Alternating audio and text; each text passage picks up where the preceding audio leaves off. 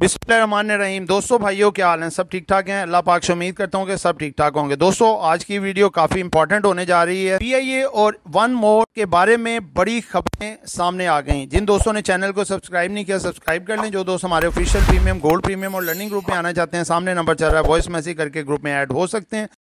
हमारा चैनल हो token PSX लेकर आया आपके लिए एक बहुत बड़ी गुड न्यूज़ हम इंट्रोड्यूस करवा रहे हैं अपने पेड व्हाट्सएप ग्रुप्स जिनमें आपको स्टॉक मार्केट से पैसा कमाने के लिए गाइडेंस और डिफरेंट सर्विसेज़ दी जाएँगी।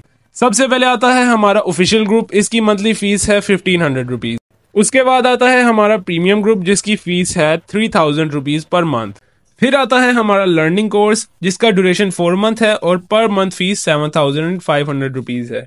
इसके अलावा हम गोल्ड प्रीमियम सर्विसेज़ भी प्रोवाइड कर रहे हैं, जिसमें हम टोटली आपका ट्रेडिंग टर्मिनल ऑपरेट करेंगे और प्रॉफिट में से कमीशन लिया जाएगा। अगर आप इनमें से कोई भी सर्विस अवेल करना चाहते हैं तो स्क्रीन पर चलते हुए नंबर्स पर कॉन्टैक्ट करें।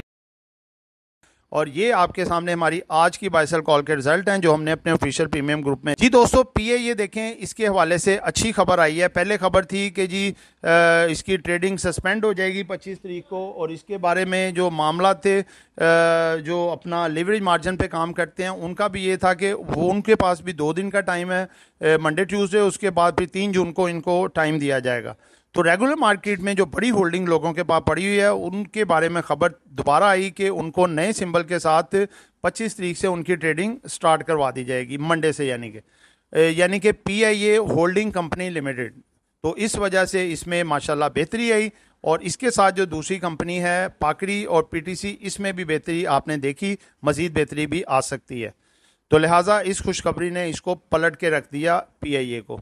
तो दोस्तों, ये एक एजुकेशन पर्पज वीडियो थी नॉट बाय सेल कॉल खरीदना है, बेचना है, अपनी मर्ज़ी करनी है, दुआओं में याद रखिएगा आपका दोस्त, आमिर शहजाद, अल्लाह हाफिज़।